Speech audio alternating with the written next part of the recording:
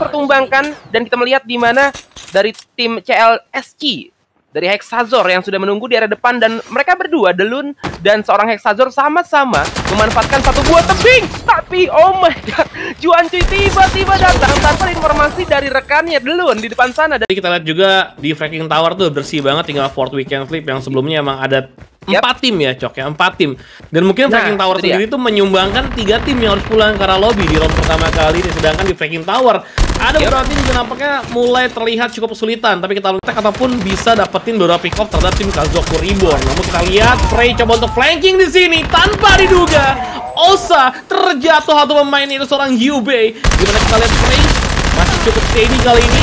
Dapetin satu tembakan lagi karena seorang Rexy namun Frey mendapatkan satu back, back gudang tanpa disadari. Tim Zoid nampaknya masih memantau daerah kejauhan aja. Sedangkan mungkin menjadi situasi yang cukup berbahaya buat tim Zoid sendiri. Sedangkan kita bergeser ke spot lainnya.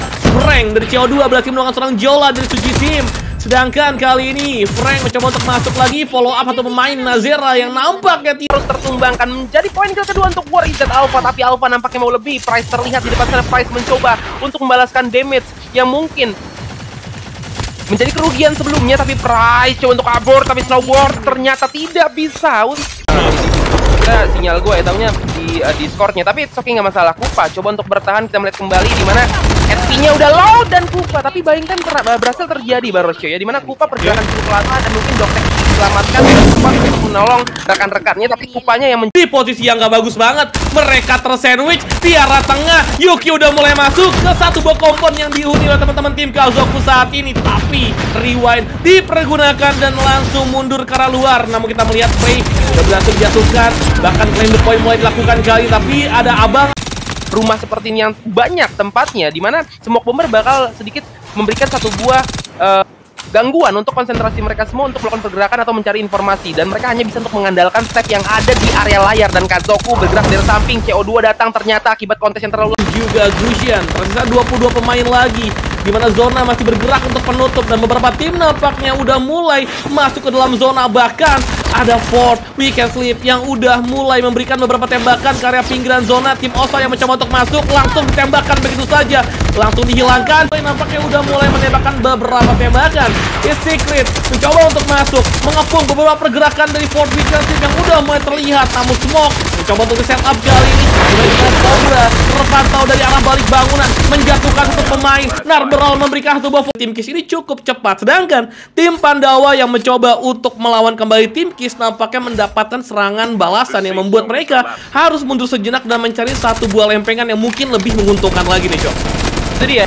IND sekarang yang menjadi target lain dari Pandawa. Pandawa harus berhati-hati karena mereka harus mengetahui informasi bahwa Kiss bakal bergerak dari area obstacle rumah tersebut. Tetapi kita melihat kembali di mana tiga tim tersisa kali ini dan di mana Pandawa harus dipulangkan oleh Narberal. Di mana last kill dua poin kill diamankan Narberal kan? Kenzui pun menumbangkan serang prototipnya ya. Menurut kita selalu Rika tadi sebenarnya rindu ya. Anaknya memang barbar tapi thank you banget. Dan sekarang kita melihat di mana dua tim sudah pulang dan masih lengkap 25 tim. Ini entah sih ya gue ngeliat ISO FPP di ronde kedua. Middle round yang biasanya dijadikan adalah rondenya tim-tim mengejar ketertinggalan atau memperbaiki mencoba untuk bertahan. No face di depan sana mencoba untuk melakukan satu dua revive terlebih dahulu karena satu rekannya berhasil dilumpuhkan oleh tim Kiss di depan sana. Kirin tapi coba untuk masuk tapi Kirin terpaksa harus dijatuhkan. Narberal masih bisa untuk standby dengan satu buah tim datang di satu buah kondisi di mana ada Kiss dan No Face yang keduanya pun masih sedikit terlibat baku hantam yang nggak terlalu baik. Dan ini kita melihat di mana Pandawa coba untuk mengatur ritmenya karena dua rekannya pun harus tertumbangkan dan eksekutor Mira nampaknya mencoba untuk cutting di sini. Ciku langsung dijatuhkan. Dan ini nampaknya akan menjadi satu buah alarm juga buat rekan-rekannya memberikan backup karena seorang Ciku. Karena kita melihat follow up cukup cepat dilakukan sedangkan Mira benar-benar sendirian untuk merepotkan bagi tim NFS dan mereka mencoba untuk mencari target yang mungkin lebih mudah untuk dikunci sejauh ini di arah map black market. Namun kita melihat di arah spot luarnya juga ini ada beberapa tim yang mungkin lambat laun akan segera memasuki area black market juga itu dia tentunya Black Market di Blue Zone dari Beta Executor sangat disayangkan sekali sedangkan Pandawa yang menurut gue ini Pandawa dari tadi tim yang cukup berani ya untuk menghampiri area gunfight walaupun mereka belum terlalu berani untuk commit fight-nya. Dan kita balik lagi untuk di Black Market yang ternyata Menyon ternyata Mas jatuhkan Yukio mencoba bertahan. Sedangkan kita melihat seorang Egon juga mencoba untuk joking satu pemain berhasil jatuhkan kali ini dua melawan tiga. Dan nampaknya CO2 berhasil menumbangkan seorang Yukio kali ini. Tinggal sisa Egon aja. Egon masih bisa bertahan. Frank berhasil ditumbangkan. Ternyata ada Beta Executor yang langsung join the dua pemain tim CO2 namun Sasuke bersama Frey kali ini mencoba mengobrak-abrik lagi satu buah rumah yang nampaknya menjadi markas tim CO2 namun sangat sulit karena kita melihat di luarnya bertemu seorang Ciku. Namun kali ini tersisa empat tim lagi. Ternyata sudah terkenok sedangkan CO2 seorang roketnya udah mulai mengirimkan beberapa tembakan karena seorang N dan langsung menghilangkan dia begitu aja. Sedangkan Tata mencoba untuk memutar. Sasuke nampaknya akan terlihat terlebih dulu tapi oh, ternyata lompat di sana.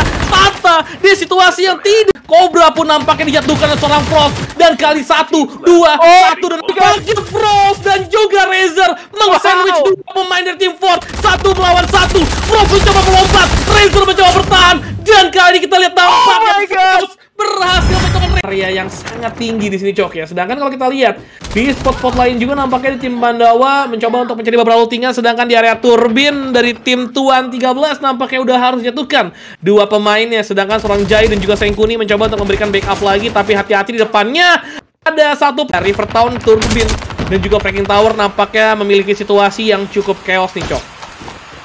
Itu dia. Kita melihat juga di mana untuk uh, beberapa tim yang udah melakukan kontes ini ada dua tim yang udah putus asa ya. Dua tim langsung dia memutuskan untuk menyerah. Satu pemain dari orang santai yang mencoba untuk melakukan escape dari seorang Potato di depan sana. Tetapi kita melihat Potato masih mempunyai jiwa survive dan bahkan melakukan counter fire yang membuat di sini Suji tim. Tapi Suji tim menurut gue bakal pede banget karena mereka tahu mereka menang jumlah dan Potato sendirian dan kali ini Potato langsung tertracing. Tiga poin kill di aman Gru nampaknya masih bisa untuk dibangunkan dan ini Mr. Gru menurut gue penting banget sih ya karena Mr. Gru ini menjadi core untuk GBS dan ini Kirin ya. Kirin sendiri. Oh my god. No face. Where are you your friend? Kirin. Why? Kenapa dia sendirian Kirin? Tiga rekannya. Mon Emily dan juga Ki mencoba memanfaatkan satu buah kompon site di sini di mana Sempi nampaknya armornya udah langsung dihilangkan begitu saja.